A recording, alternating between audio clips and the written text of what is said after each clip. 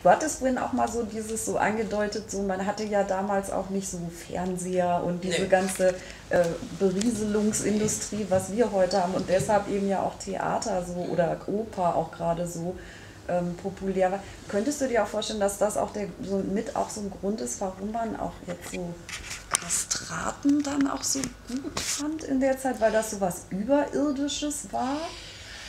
Die Kastraten hat ja eigentlich die Religion verbockt, eigentlich der Papst, weil er, ähm, es durften ja keine Frauen auf der Bühne singen, das war ja verboten, in manchen Regionen zumindest, ich glaube in Venedig war es erlaubt oder so, aber in manchen Regionen durften keine Frauen singen.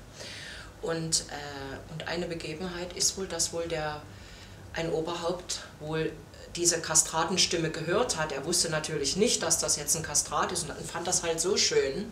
Und daraufhin gab es auch diese Welle, dass mehr und mehr diese, wie soll ich sagen, diese, diese diese Kastration halt fortgeschritten ist. Natürlich viele Familien hatten gehofft, sie waren arm, dass sie, wenn sie jemanden aus, wenn sie ein Kind haben, der dann wahrscheinlich ein Star wird oder ganz viel Geld verdient und der Familie hilft. Ne?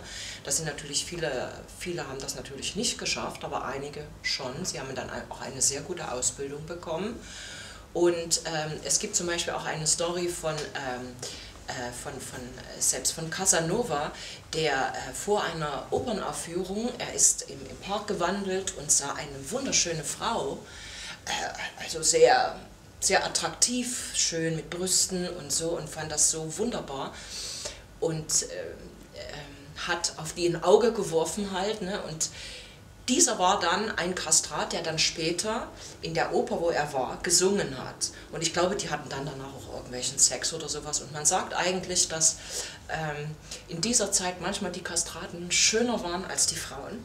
Ja, sie es waren nicht alle, äh, manche sind, sind vielleicht, sie haben ja durch diese Hormone, ähm, man muss sich so vorstellen, dass sie, äh, sie mussten bis zum achten Lebensjahr mussten die ja kastriert sein äh, und dann, damit sie nicht diesen Stimmbruch kriegen. Ne? Und dann sind manche sind halt, sage ich mal, vielleicht breit geworden, haben dicke Hintern bekommen und sind dick geworden und manche waren aber auch sehr groß und dadurch, dass sie, äh, äh, wie gesagt, manche, die halt schön waren, äh, hatten diesen breiten, äh, trotzdem diese männliche, äh, diesen Brustkorb, wo sie dann eben un, un unmöglich lange Phrasen singen konnten, ohne zu atmen. Was natürlich eine Frau in dem Sinne nicht, sie hat nicht diese Voraussetzung. Und, ähm, und wie gesagt, die haben ja dann ja auch Frauenrollen gesungen. Ne? Also sie waren ja dann auch Frauen auf der Bühne. Und, ähm, und Casanova, wie gesagt, also äh, bestimmt, es war eine ganz verrückte Zeit. Und außerdem waren ja die Kastraten trotzdem auch für die Frauen sehr attraktiv, weil eigentlich sagt man, dass man dadurch trotzdem seine Manneskraft behält, aber die Frauen sind nicht schwanger geworden.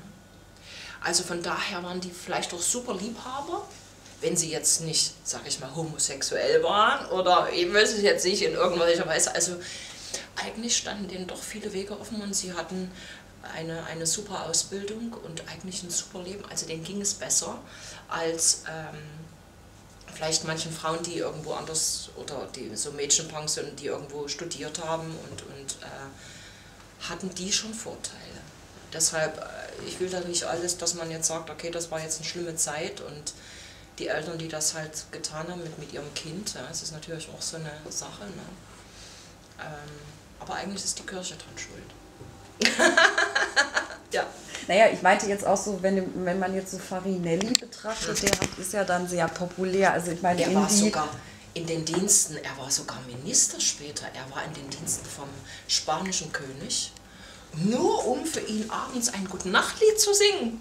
Ja, und er hatte eine Mitrede auch in der Politik und sowas. Also er war, er war sehr, er stand sehr gut da. Er, er war natürlich auch sehr reich. Es ging ihm bis zum Ende hin sehr, sehr gut und, und auch Caffarelli zum Beispiel, das ist der, ich sage mal, der, wo ich sage, Farinelli ist vielleicht eher die Altstimme äh, und Caffarelli ist eher der Sopran und noch mehr Virtuose, würde ich sagen, vielleicht als, als Farinelli.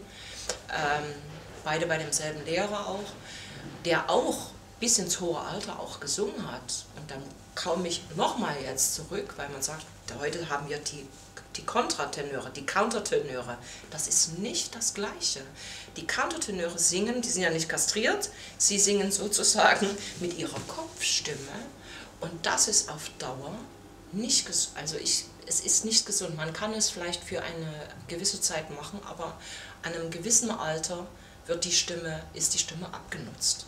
Es ist, nicht, es ist nicht das gleiche wie ein Kastrat, denn die haben mit ihrer natürlichen Stimme gesungen. Äh, deshalb ist es nicht das gleiche. Es wird immer heute oft so erzählt, ja, das sind jetzt die, das ist der Klang und so müssen die klingen. Das stimmt nicht.